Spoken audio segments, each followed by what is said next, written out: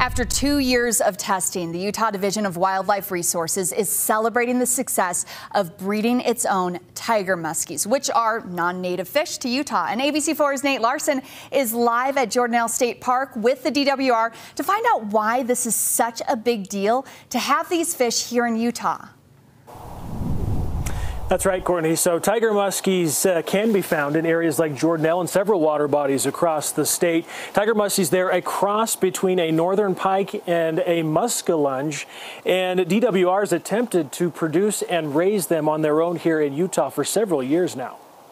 Tiger muskies are sterile hybrid fish used to manage fish populations across the state. So this way, the managers can control the number of fish in a given water where they can be used for biological reasons as far as trying to remove fish or species that are unwanted in that water without overpopulating it with, say, a northern pike or a muskellunge.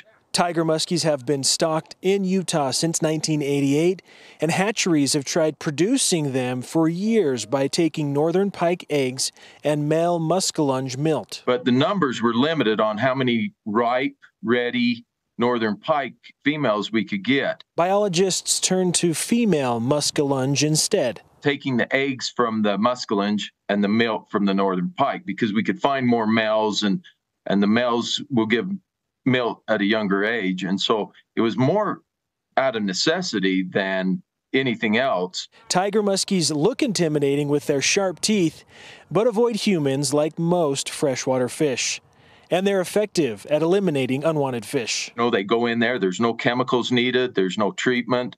They can go in and forage on those unwanted fish and yet also provide an opportunity for a sport that uh, might be unique to that water body. Tiger muskies are the longest fish in the state. A record 53 and a quarter inch muskie was caught at Pineview Reservoir back in 1998.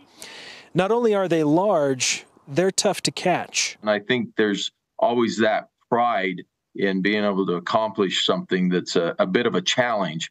You you have to really have a desire to go and catch a tiger muskie. All right, now they do look a little intimidating. I remember being afraid of them growing up uh, recreating at Pineview Reservoir, but uh, nothing to worry about there. Now, since they began this program where they've reverted to now the female muskellunge uh, cross method, they've already generated 85,000 uh, tiger muskies since 2021. All right, I'm live at Jordanelle State Park.